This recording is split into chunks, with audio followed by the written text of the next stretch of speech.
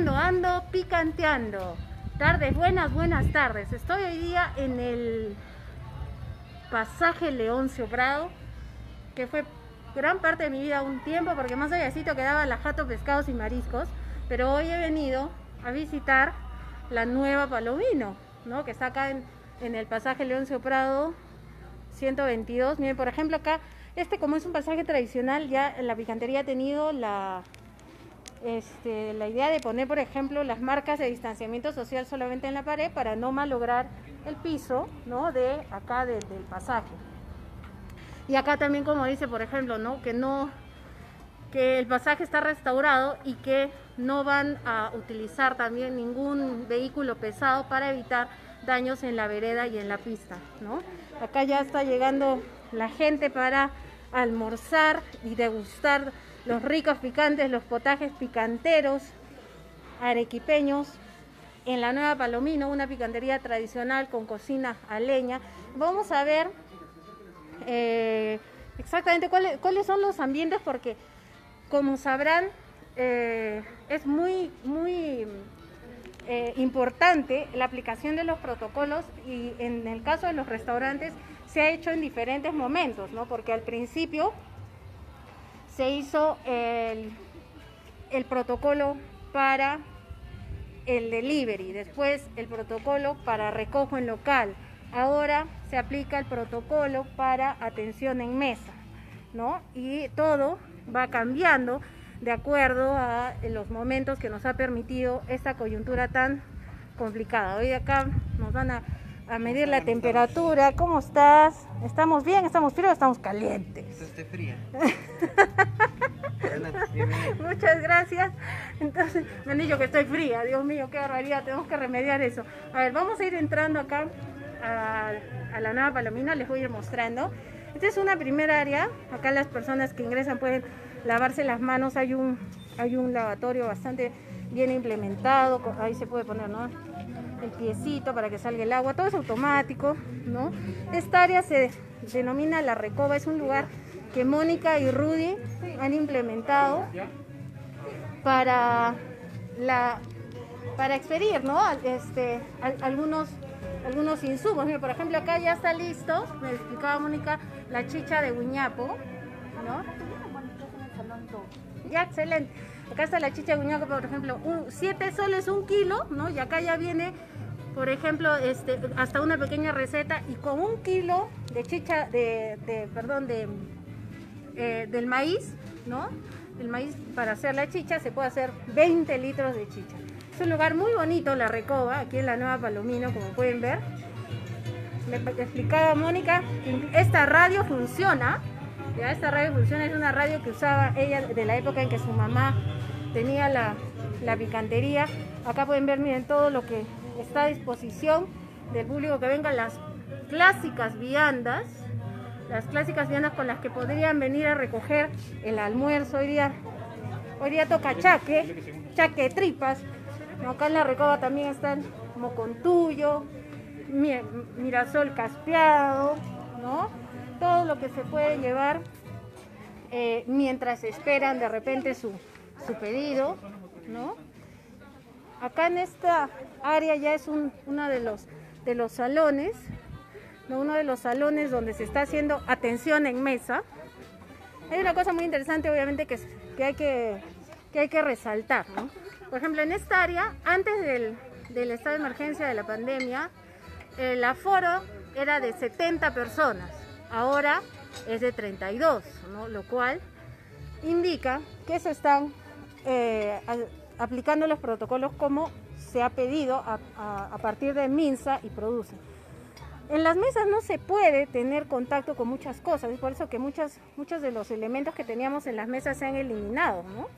Por ejemplo, esta carta es una carta que está puesta en un caballete, porque no hay cartas físicas, no se pueden utilizar cartas físicas que pasen de mano en mano ni que pasen de la mano del mozo a la mano de los comensales. Es una cosa bastante positiva para seguir evitando el contacto entre, entre eh, las personas y evitar el contagio, ¿no? Acá hay un, también otra área de la Nueva Palomino, donde antes entraban 40 personas, ahora solo entran 18. Como ven, miren, qué bonito, las mesas están bastante distanciadas, lo cual nos da seguridad a todos los comensales. Otra de las cosas interesantes que han hecho en las mesas y que nosotros como comensales también debemos saber es que, por ejemplo, han puesto un código QR en la esquina y ahí pueden ustedes ver la carta y este sin ningún problema acceder a la información de la carta a través del código QR que está en las esquinas de las mesas. Es muy importante resaltar que nosotros como comensales también tenemos que guardar mucho respeto por las, por las normas dentro de los restaurantes, dentro de los establecimientos gastronómicos. Ahora nos vamos a ir a visitar a Moniquita que nos está esperando Ah, nos está esperando por esta área. Voy a dar una pasadita antes de encontrar a Mónica. Hay una parte muy bonita que han implementado acá en, la nueva Palomino, que es el área donde ellos iban a tener otra cocina, que es un área bastante abierta. he venido rapidito por acá, mientras Mónica nos está esperando acá. Así vamos a dar una vueltita rapidita. Acá, por ejemplo, está su criadero de, de cuisitos, aquí mismo, ¿no? Acá están los chiquitines, ¿sí?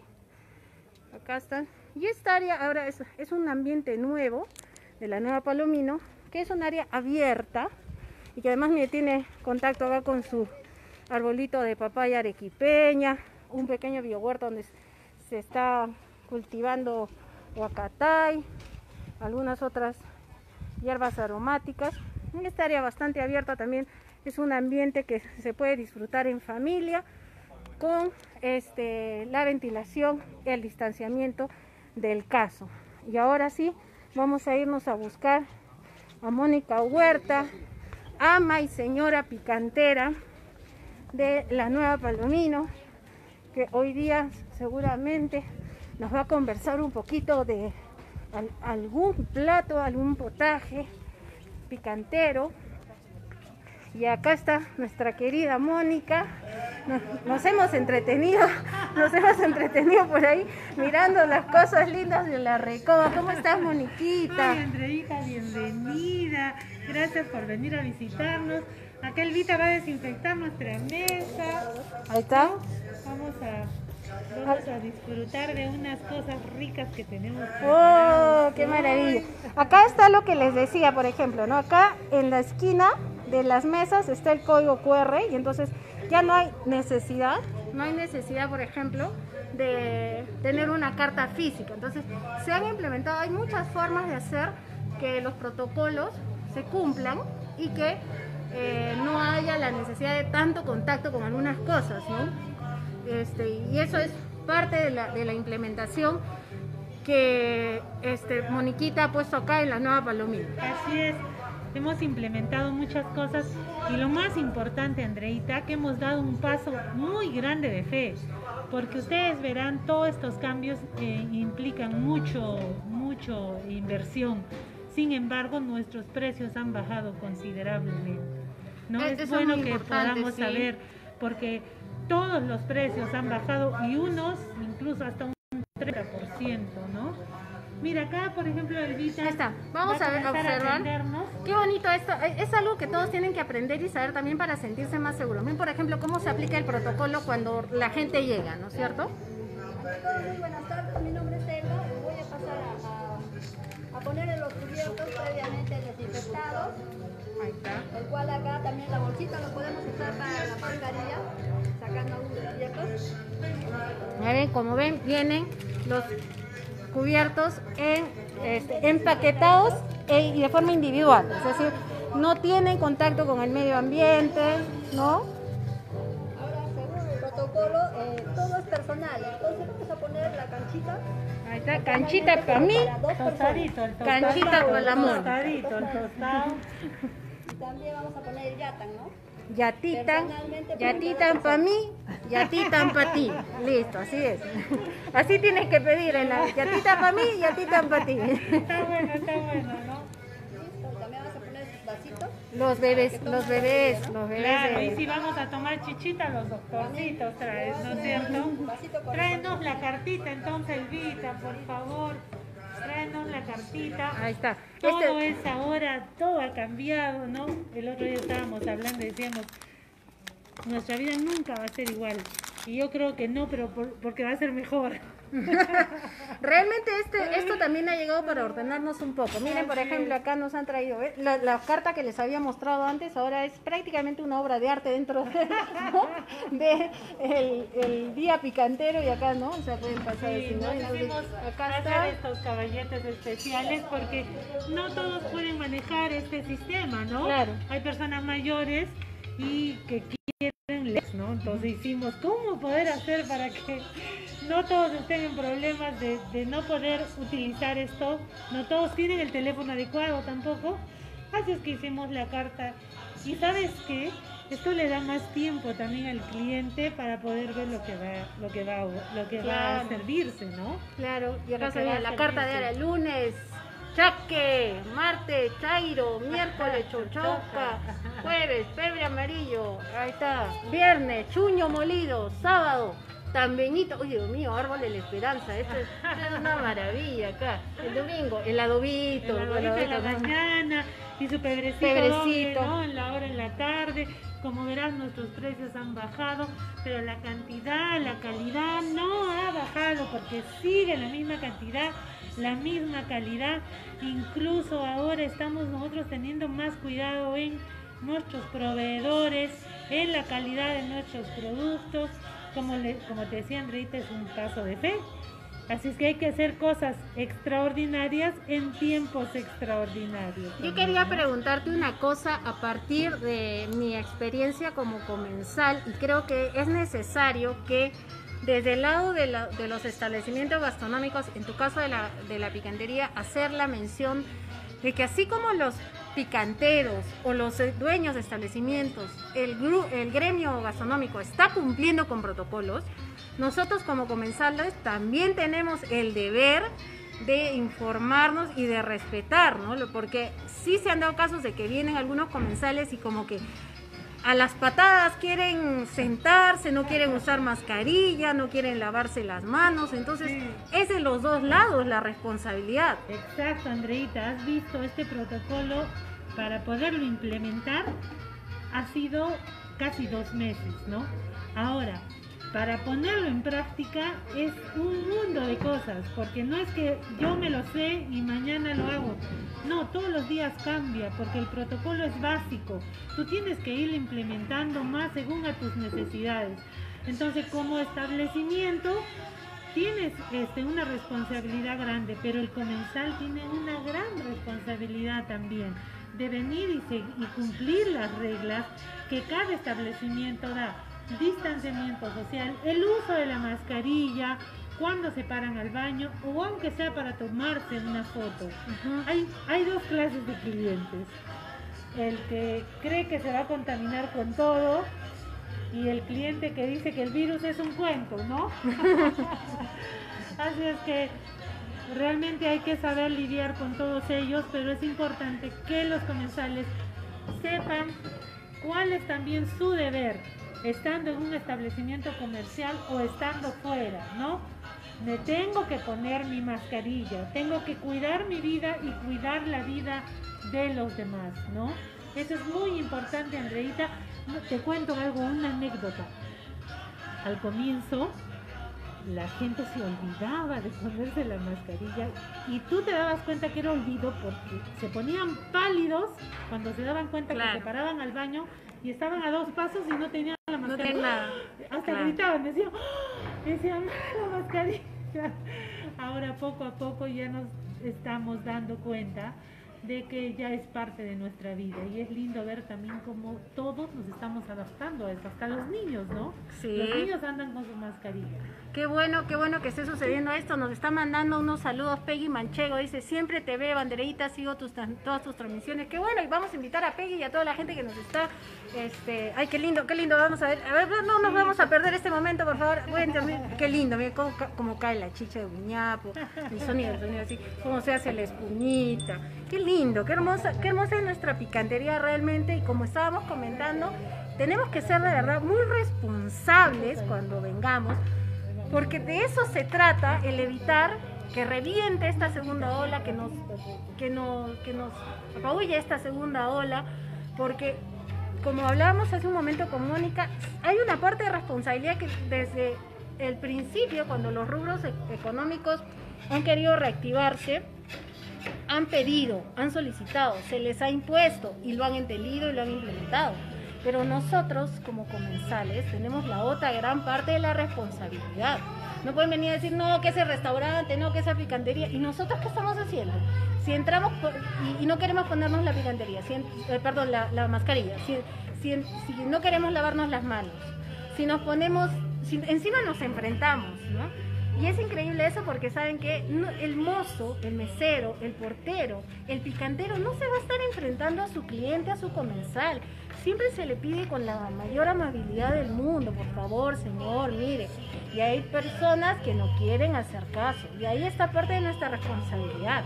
Estamos en un lugar donde se han adaptado, los restaurantes se han adaptado muchísimas cosas para que podamos seguir disfrutando de la experiencia gastronómica, ¿no? para que no estemos alejados de algo que es parte de nuestras vidas, que es disfrutar de nuestra comida, este, disfrutar de nuestras costumbres, nuestras tradiciones, está haciendo un gran esfuerzo. Entonces nosotros para que eso se pueda mantener tenemos que también ser respetuosos de esas normas, ¿no?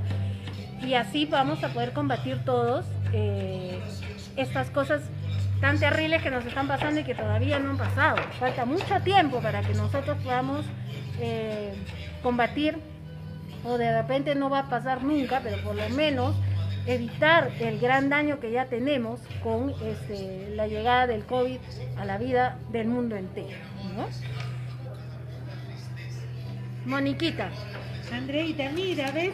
Acá tenemos nuestro sellito de seguridad que nos garantiza que acá realmente hay un cubierto totalmente, no solamente lavado, sino está totalmente desinfectado. Mira, acá por ejemplo está mi cubierto ¿está? completo, mis servilletas, mis dos servilletas y este sobrecito me sirve para poder guardar La mascarilla. mascarilla temporalmente, ¿no? Temporalmente y la pongo a un ladito y me comienza a servir. Así es que, Andreita, por ese gusto, por la visita, estamos en un distanciamiento aceptable, así que podemos, podemos brindar por nuestra linda Arequipa. Vamos a hacer un brindis Así entonces. es, Vamos a hacer un brindis. Sí.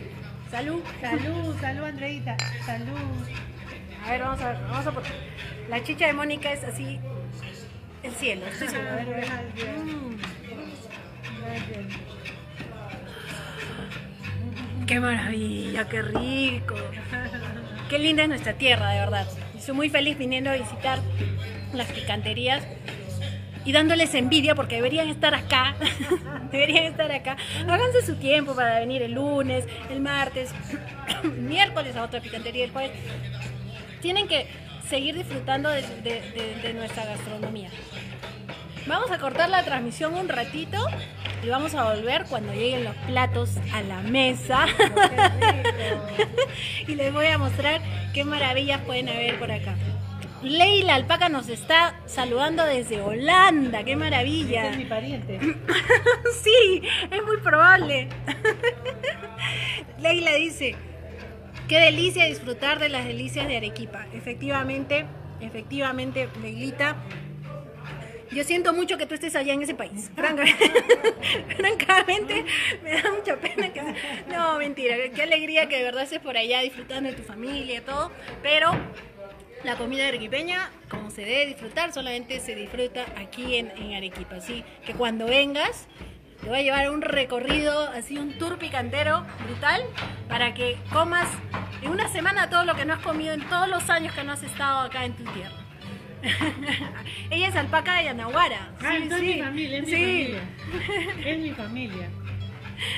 Miren, también nos están saludando desde Ciudad de México. Caramba, que estamos llegando cada vez más lejos, ¿ah? Gracias al internet es una cosa maravillosa que ha pasado. Tengo muy buenos amigos en México. Tengo muy buenos amigos en México.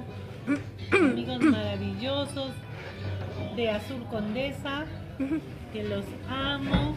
Unos chefs maravillosos, amantes de la cocina tradicional de México. He ido a México tres veces. tres veces me siento como en casa, es maravilloso y creo que voy a seguir porque es una de las cosas que mi mamá antes de morir no pudo cumplir. Así que en honor a ella siempre voy a México. Ah, qué bonito. Ricardo Muñoz, ¿no? Que es uno de los grandes chefs de allá de México. Ah, Que fui a verlo en Azul Condesa y Azul Histórico, restaurantes maravillosos de la Ciudad de México. Tendremos, tendremos que ir a, a conocer también. Este, a mí me han dicho que, por ejemplo, la comida mexicana yo no la conocía bien, pero la comida mexicana es muy amplia y muy diversa, ¿no? Y nosotros conocemos, creo, convencionalmente cinco o seis cosas de la comida mexicana, pero realmente son muchas cosas. Bueno, vamos a cortar un, ratito y regresamos para mostrar las maravillas de la nueva Palomino que ustedes también van a poder degustar si es que vienen aquí a Leoncio Prado 122 aquí en Yanaguara en la tercera cuadra de la calle Misti. Ahorita regresamos.